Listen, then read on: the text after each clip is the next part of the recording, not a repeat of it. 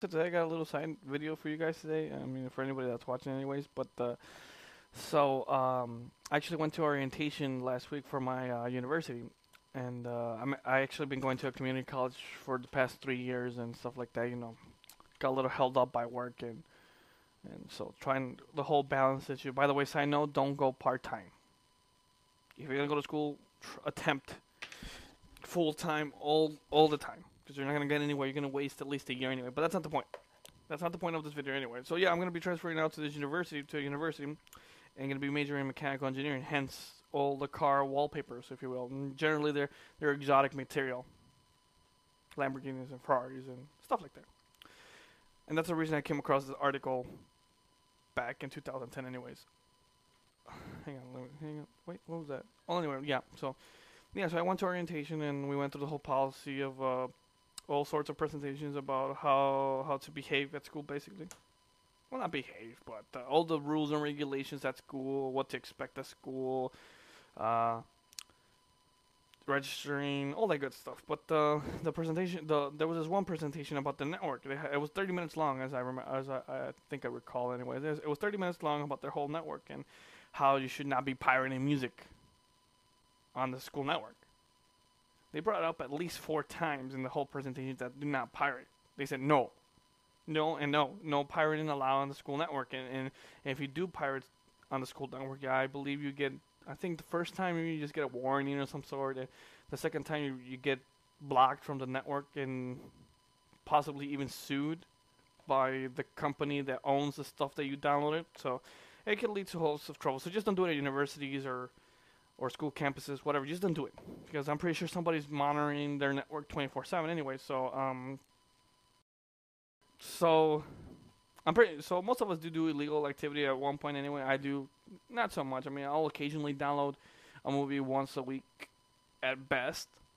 Generally, I download a movie maybe once a month or something like that. I mean, I don't have cable, so I'll tend to download a lot of Showtime shows and uh, or I'm just waiting for Top Gear to come back in the air, and I'll be downloading that again. But uh, even then, I don't do that much. So, so yeah, I mean, so th- that orientation, that network, that network presentation brought me back to this whole thing that we should be aware of this one small program, so you can protect protect yourself from landing in this this kid's shoes, basically. So what happened in, uh, or what happened last year was that this kid downloaded about 2,000 songs illegally, of course but and he was sued by the RIAA.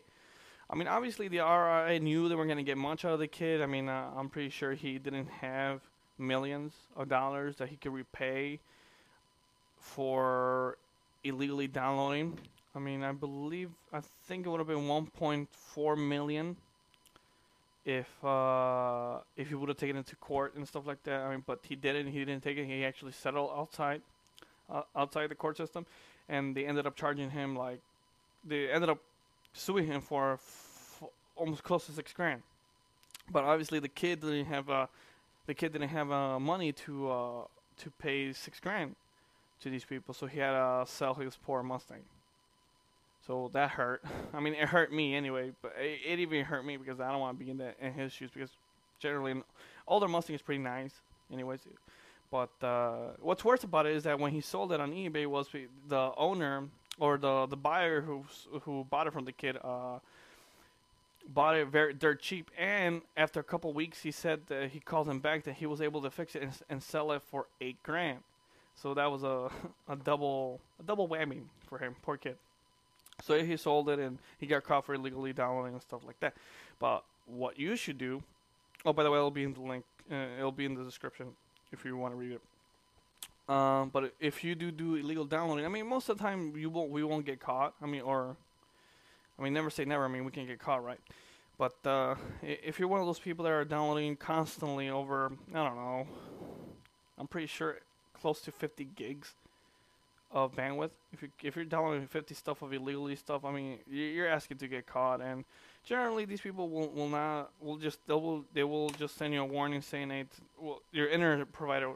Your internet, your ISP or internet service provider will send you a letter saying, "Hey, stop downloading. You've been caught by Sony or Paranormal Pictures or whoever." And um, so, so generally, you want to don't do that. So what you want to do now is, uh, if you want to keep continuing downloading that much without getting caught, is download a small program called PeerBlock. I believe it's like two megabytes, if you will, and uh, I already have it down installed because I do do my fair bit of uh, illegal downloading, if you will, and uh, see it'll generate the list of IPs that are actively searching the the network or the internet for illegal downloading, so like you can get caught and stuff like that. And um, here it is. Here's the program itself. Oops, there it is, and uh, it'll block certain IPs that are known to be watchdogs for for illegal downloading. And uh, so you want to you want to get yourself this program. I mean, it's free and uh, it could possibly save you a lot of headache. But generally, most of the time, these people or these uh, these people will not will not come after you because chances are, if you illegally download it, you don't have money. And if you do have money, you're probably not illegally downloading. You're probably buying it, the product itself. But um, but the, yeah, get yourself this program. Uh, it's not 100% guaranteed. I mean, but it will drastically reduce your chances of getting caught and actually getting sued. But, but back to the whole downloading thing. Let me just close this out. Back to the whole downloading thing. I mean, if you can afford and pay for it, just go ahead and pay for it. I mean, I tend to pay for my most of my programs anyway. Most of them, I say most of them, not all of them. Occasionally, I'll pirate some program that I don't want to pay for, and chance I won't, I won't even use it anyway. But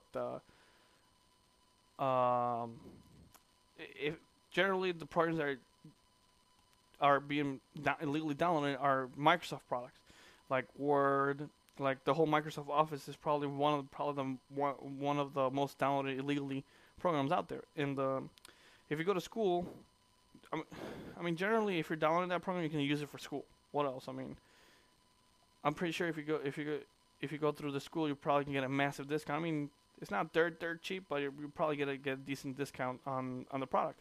And, and if you're like me and you're majoring in engineering with AutoCAD or with computer aided design programs, you you probably can get it through the school even for free. I mean, you'll get the student edition, but uh, that's what you're mainly going to use it for anyway during school. I mean, by the time you, you're out of school, you probably have a decent career and be able to afford the program anyway. So if you if you need to get a, some sort of program, generally just go to the school and see if they have it. Chances are they will, or the program you're looking for, anyways, because uh, you're gonna need it for school. You need to be familiar with the with the program. But uh, yeah, that's that's basically it. I mean, if you do do, I mean, all of us do illegal download. You just try to be safe out there and don't get caught, and just go ahead and download this program called uh, PeerBlock. I think Pure Block 1.1. I think that's the latest, and I think there's another one called PeerGuard too, PeerGuardian or something like that. But I'm not sure. This is the one I use anyway. So, but uh, yeah, thanks for watching. For thanks for watching, anyways.